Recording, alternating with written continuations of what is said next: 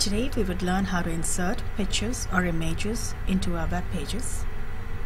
As always, you first log into your Gmail account, go to your website, and in order for us to insert a picture into a web page, we have to edit the page.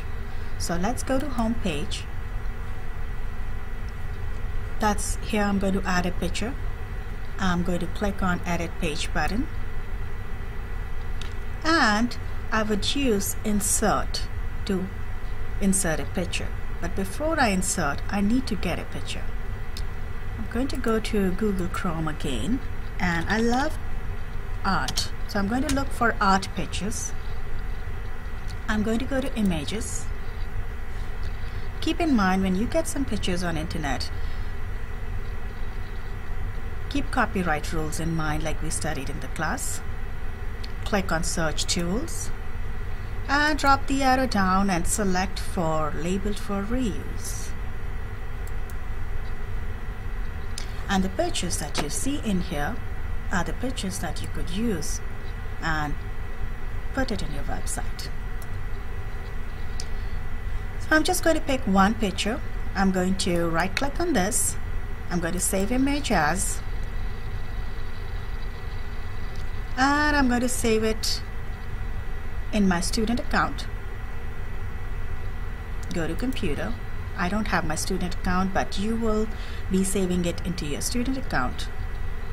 But since I don't have my student account right now I would save it into my desktop. And I'm going to call it as art. And it's a JPEG picture. Let's click save. I go back to my home page Now to insert an image in my page, I would go to the page first.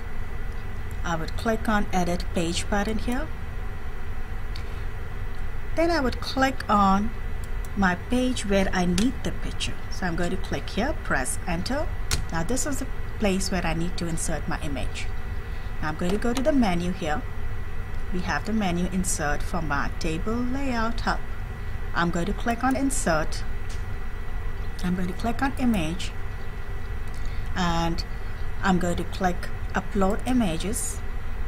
And I'm going to go to my desktop because that's where I saved my pictures.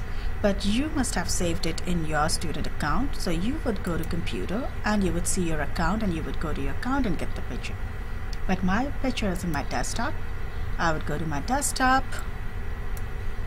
I would pick my picture select it click open.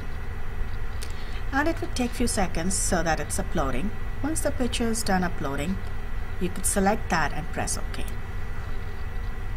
Now you can choose to have the picture as small, medium or large. You could keep it as original if you like. And if you want, you could center it, left align it or right align it. I'm just going to leave it the way it is. And I'm done inserting pictures. I'm going to click save there you go. So my home page is ready with a heading, two paragraphs, and I've inserted a picture.